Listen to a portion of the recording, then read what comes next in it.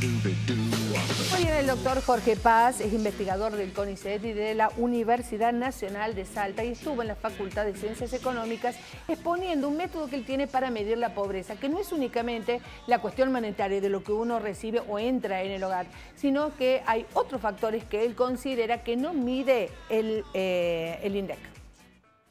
El reconocimiento de que no hay una forma de pobreza única, la pobreza como la concebimos hasta oficialmente es la pobreza por falta de dinero, pobreza monetaria, y la propuesta de medición que, he presentado acá para discutir y para, y para trabajar es una propuesta de medición de la pobreza basada en, múltiples dimensiones, trasciende en la esfera del ingreso, este, abarcamos eh, aspectos tales como la educación, la salud, eh, la salud en términos de saneamiento básico, vivienda, protección social, empleo, eh, acceso al agua, es decir, un conjunto de derechos que hacen de la, de la visión que se tiene por eso una, una visión multidimensional, no solamente enfocada en uno de estos aspectos, sino en el conjunto. La medición por una única dimensión, pongámosle el caso del ingreso solamente, eh, deja oculta un conjunto de personas que están teniendo privacidad, que, son, no, están privadas en ingreso, es decir, tienen, generan un ingreso suficiente para estar fuera de la pobreza, pero que tienen privaciones en sus derechos básicos. Están, sus derechos básicos están siendo vulnerados de alguna manera. Esas personas no, no aparecen en esa medición oficial. Nosotros sabemos, porque lo dice INDEC y lo informa oficialmente, y el Estado argentino lo reconoce como tal, que el 35% de la población estamos hablando de más o menos 15 millones de personas en Argentina, son pobres por ingresos. Pero no estamos mirando dentro de ese grupo, que hay un grupo muy importante, alrededor del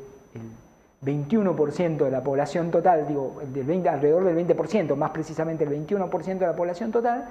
que también no solamente son pobres por ingresos, sino que también tienen algún derecho vulnerado. la definición de pobreza es esto, de que eh, consideramos que una persona es pobre si no logra eh, consumir las calorías eh, que son necesarias para poder sobrevivir, ese sería el concepto de indigencia este, más puro, digamos, que estamos considerando una canasta básica alimentaria, pero también consideramos que una persona es pobre si, a pesar de tener las calorías necesarias o de ingerir las calorías necesarias para poder subsistir, no tiene cómo vestirse, cómo alimentarse. Si una niña o un niño eh, no va a la escuela o eh, va a la escuela pero tiene algún problema en la escuela, como por ejemplo problemas de repitencia, de sobriedad. Eh, si una persona vive en una vivienda que no tiene acceso al agua o algún derecho básico, también es considerada privada. en realidad, como resumen, consideramos seis dimensiones no monetarias, le llamamos porque no la estamos midiendo por, por dinero, son dimensiones, como te decía, educación, empleo, protección social, vivienda, saneamiento y agua, que se agregarían a la definición de pobreza por ingresos que incluye esta idea de eh, indigencia o carencia de dinero para comprar los alimentos básicos.